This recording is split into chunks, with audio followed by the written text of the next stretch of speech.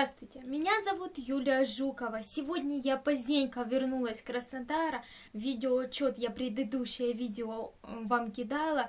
И вот темой моего сегодняшнего ви видео является мотивация. Что такое мотивация в моем понимании для меня? Что меня мотивирует?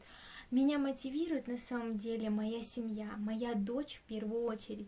Знаете, когда видите такой нюанс, что она хочет, а ты не можешь, это, наверное, изо всех сил рвет до безумия и заставляет подниматься и идти. Если не можешь, то все равно двигаться, ползти и идти все, все равно любыми путями, лишь бы только сделать так, чтобы было комфортно человеку.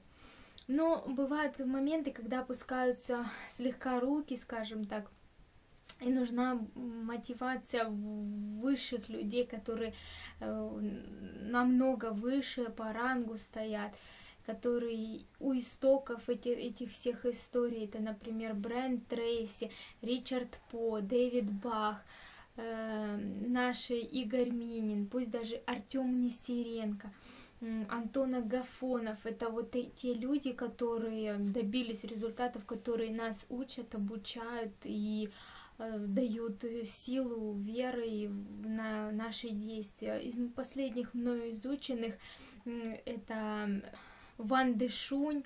Э, если вы не знали этого человека, почитайте. Я желаю вам найти понимание раньше, чем он. Ему только почет высоких э, сил и энергии стоит пожелать. То есть меня мотивирует моя семья, моя дочь. Это мой большой мотиватор много чего еще, но как бы в коротком видео это пока все. И такие люди меня мотивируют, которые вокруг меня, мое окружение, которое дает силу веры и надежды.